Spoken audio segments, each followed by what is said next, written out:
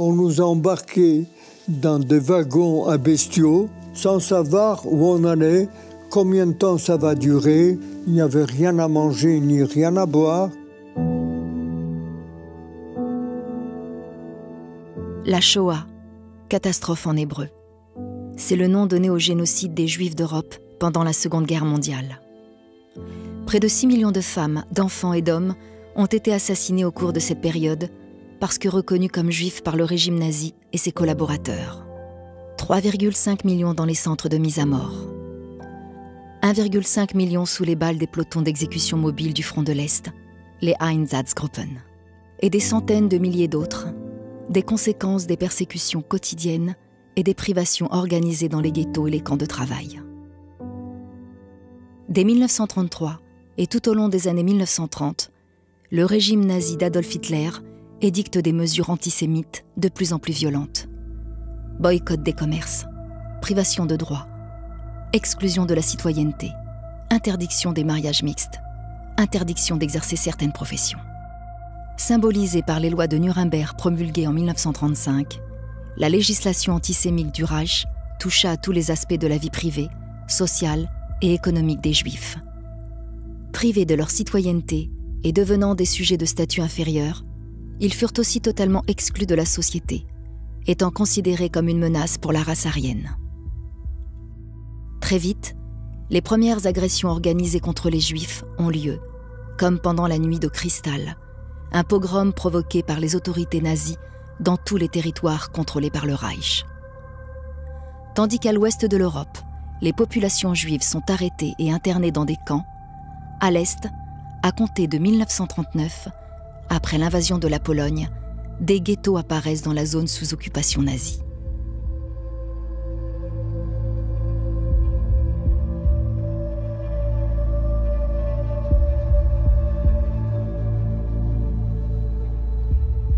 Toute la région de Lodz et les environs ont été annexés au Troisième Reich. Il y avait 350 000 juifs qu'à Lodz. Il fallait qu'ils quittent leurs appartements pour aller s'installer dans un quartier les plus déshérités où ils allaient constituer un camp de travail. Et finalement, ils ont décidé de nous déporter de force. À partir des 10-11 ans, on avait droit et devoir de travailler. Ils subissaient vraiment des conditions très difficiles et très dures sur le plan alimentaire, sur le plan de l'hygiène, une mortalité très importante.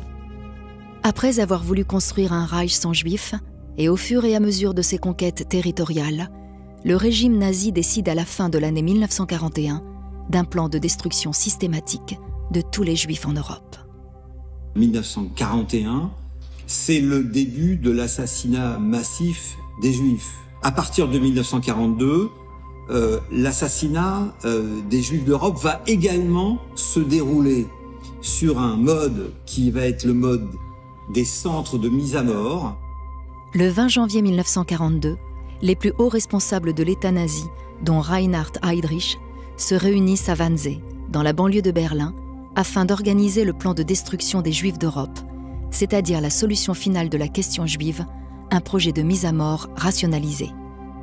On va amener les victimes dans des centres de mise à mort, qui vont être les trois premiers centres de l'opération Reinhardt, et puis après, euh, les grands camps mixtes comme euh, Auschwitz-Birkenau et Lublin-Majdanek.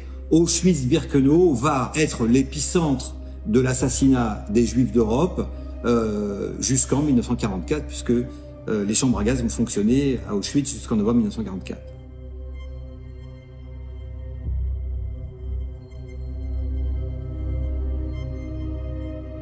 En plein été, il faisait très très chaud. On nous a embarqués dans des wagons à bestiaux, fermés bien sûr. J'étais avec mes parents, avec ma soeur à ce moment-là. Il y avait une petite lucarne pour avoir un peu d'air de l'extérieur. Et puis là, les conditions de transfert dans, le wagon étaient extrêmement mauvaises déjà sur le plan de l'hygiène. Il n'y avait rien pour faire ses besoins. Il n'y avait rien à manger ni rien à boire.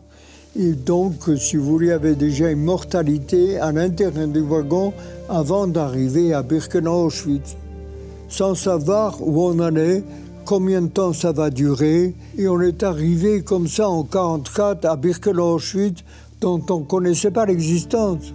Et à la sélection, mes parents sont allés à gauche, et moi, on m'a dit, tu vas du côté droit. En fait, c'était du côté du travail.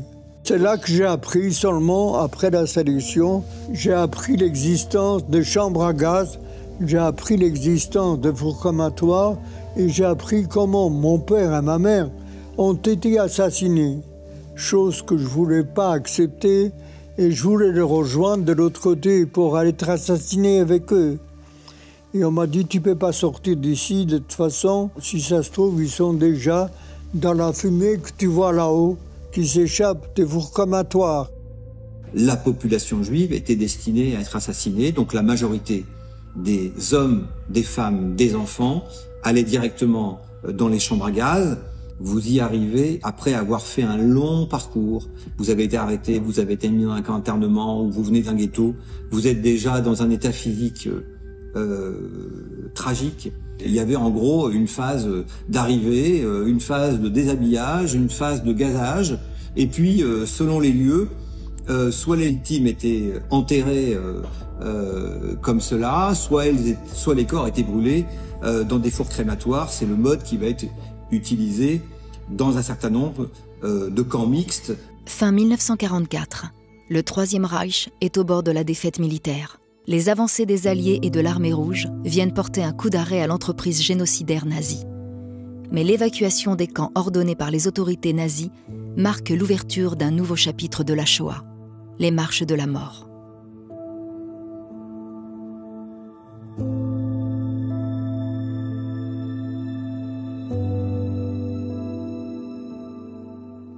Oui, il fallait marcher.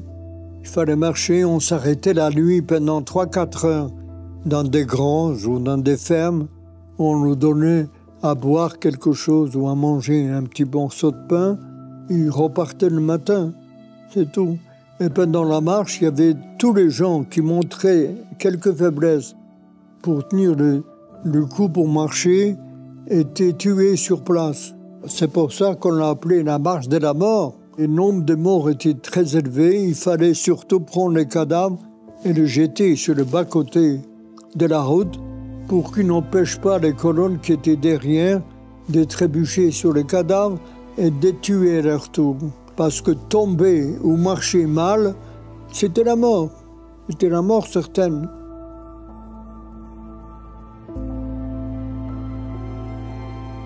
À la veille de la Seconde Guerre mondiale, environ 9 millions de Juifs vivaient en Europe.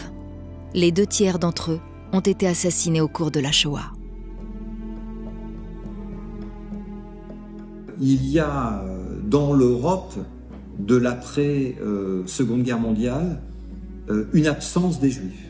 Il y a des, Juifs qui ne veulent plus retourner dans leur pays et qui vont quitter définitivement l'Europe, qui vont aller vers d'autres destinations, que ce soit la Palestine, les États-Unis, l'Amérique du Sud. Il faut vous dire, ça existait, ça va exister, mais tous ces régimes-là finissent par péricliter, par disparaître.